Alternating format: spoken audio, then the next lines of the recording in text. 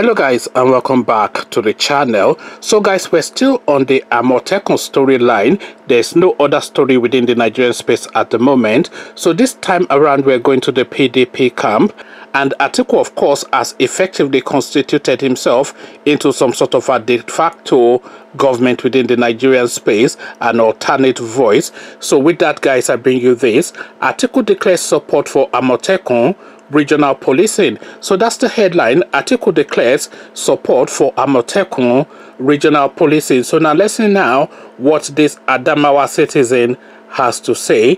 Former presidential candidate of the People's Democratic Party PDP, Atiku Abubakar, has expressed support for zonal policing following the recent move by the Southwest to launch Amotekun. In a statement sent out on Sunday, signed by his spokesman, Paul Ibe, Atiku says that it is the right move to ensure efficient policing.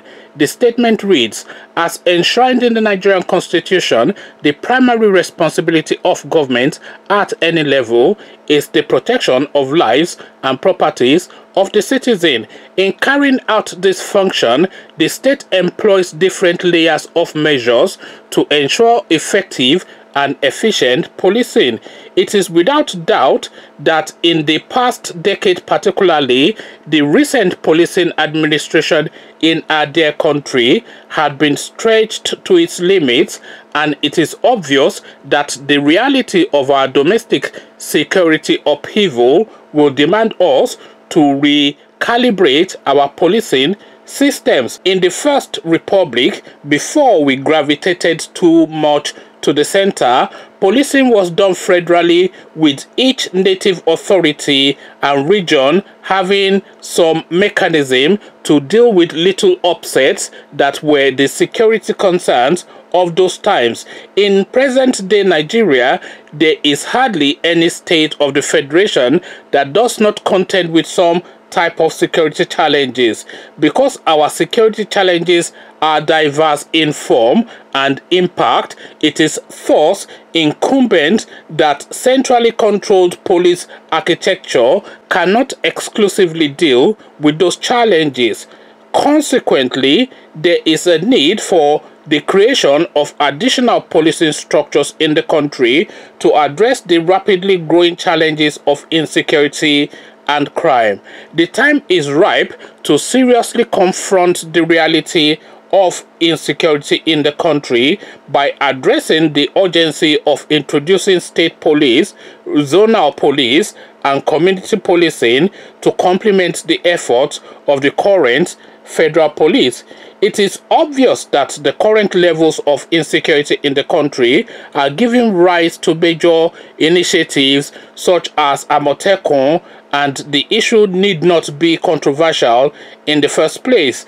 The police are likely to be more effective if they constantly operate in the level of local community or local government because such closeness might create a bond with the local people, thereby enabling community cooperation and participation that would engender proactive outcomes in crime prevention. Nigeria is a vast country facing enormous security challenges and therefore there is the urgent need to create more security structures at the local level to reduce the burden on the federal police.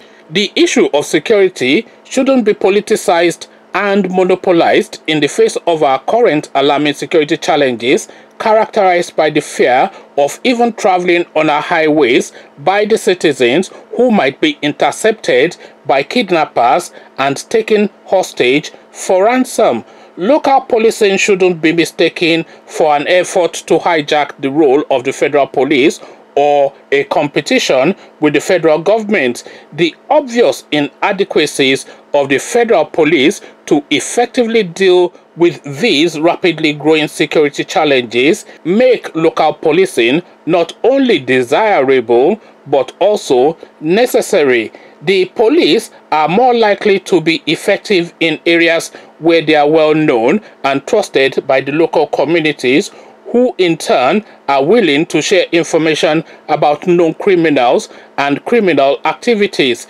thereby foiling those crimes before they are even carried out. It is a given perception that when people have a role in their own security, they are going to help defeat the crime in their tracks and the more they are involved, the more likely they would perceive the police as their friends. In the envisaged new order, states and local governments shouldn't be reduced to peripheral players in policing and security matters. When local police structures are closest to the grassroots, urgency response will be more effective than the current unwielding chain of command that render local government chairmen ineffective when their people are under attack. As a matter of fact, it is refusing to adopt new ways of doing things that poses a threat to the unity of the country. Therefore, Atiku Abubakar supports community, state and zonal police to complement federal police to deal with insecurity in the country. It has never been this bad to the extent of threatening the unity of the country. So now this is now what Atiku Abubakar has to say with regards to the uh, Nigerian situation, especially with the Amotekun storyline being at the forefront of the Nigerian narrative at the moment.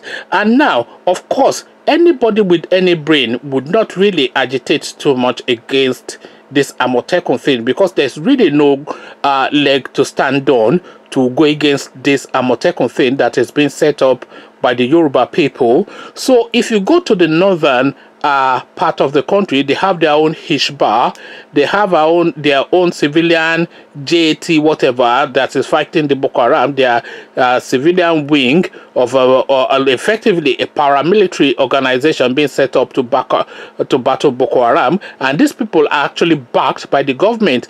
This is not constitutionally provided for as well, but the provision for this are J whatever it is, is it J two something? I can't quite remember what it's called. Uh, civilian Joint Force or something is is what is called in the northern region. But this uh structure that they have to combat um, Boko Haram in that region is set up uh, with the people who know the lay of the land in that region and is backed loosely by the Nigerian uh, government, by the Nigerian institution. So now this is, of course, uh, a medicine fitting the ailment because, of course, this is what is ex uh, exactly needed within that region. They have this problem with Boko Haram, and there's no point sending an army made up of uh, Igbo people and Yoruba people and Fulani people, etc. People who don't really know the terrain. There's no point sending an army to that place that don't know the terrain to go and battle these people. Yes, you can send the army, of course, but you need to back it up with local knowledge and local intelligence. And this is what this structure is there for. You have the Hisbah in Kano and places like that who are uh, enforcing their own doctrinal uh, perception of culture and religion, and that is how they want to live. And this, of course, has a loose and a tacit uh, consent of the Nigerian uh, state. So now the Yoruba people now, off the back of what has now been the case within the northern region for years and years and years, are now saying that we are now under siege and we also want to secure our uh, own space. And then suddenly the Nigerian government is now telling us that it is illegal to defend your life as a Yoruba man in Yoruba land. It's absolutely ludicrous beyond belief. It's almost unfathomable. It's a crime against humanity, actually, what these people are doing. And I think somebody should approach the United Nations in this regard, but of course, Atiku Abubakar has fired the opening salvo in this direction, and there's nothing really to disagree with in what Atiku Abubakar has said in this piece that has been published. Uh, policing has to be local so that the uh, people of the locality are able to identify with the people that are policing their locality so they're then able to share information and interact in terms of crime prevention in their locality. So there's no point in bringing a man from Yobe State and Borno State to be the commissioner of uh, police in Imo State or Anambra State or Osun State because the people of Imo State, Anambra State or Osun State have no trust in this guy. They view him with suspicion. They distance themselves from him. They don't recognize him as part of them and they are not willing to share anything with him. But if you bring a man that has an Igbo name, even if he's not from Anambra essentially, but has an, an Igbo name and understands the Igbo language to go and be the police commissioner in an Igbo state, they are able to interact with him more because they have this uh, sense that he has an understanding and an empathy for their plight. So they're then able to interact and cooperate with him more to secure their state. But of course, this is not the Nigerian way. The Nigerian way is to put some Fulani at the head of all of the police uh, commissions in all of the Nigerian states, especially the southwestern ones, and of course the northern ones as well, so that they can keep an eye on the natives because their agenda is really just to serve a hegemony rather than to serve the people. And this, of course, is where the Achilles heel is within the Nigerian structure because, of course, this is the crucial and critical and uh, little failing of the system. So now this failing has now led to the point that uh, the Yoruba man cannot now travel from Lagos to go and spend the weekend with his parents in the interlands, in the homestead, and go and eat good food and bushmeat and drink palm wine as we like to do in our own tradition. We can now, within our own space, uh, travel because of course we are being marauded and being overwhelmed by our foreign invaders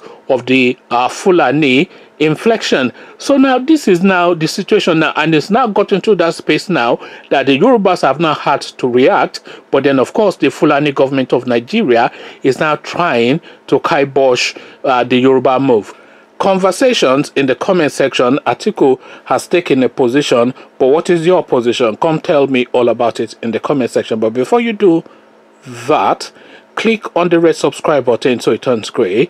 The bell button notifies you every time I drop any video. Then come tell me if you think that the Yoruba people have an entitlement as uh, under the uh, human rights, fundamental human rights uh, laws, which is an international position, by the way, not just uh, Nigeria is a signatory to this as well, to the uh, uh, Human Rights Convention. So under that Human Rights Convention, if the Yoruba uh, people have a right to life and a right to defend their right to life, which is effectively where the conversation is now within the Nigerian space. Come tell me what your take is on all these in the comment section. So I'll leave you here, carry this conversation on with you in the comment section. But here I say, peace.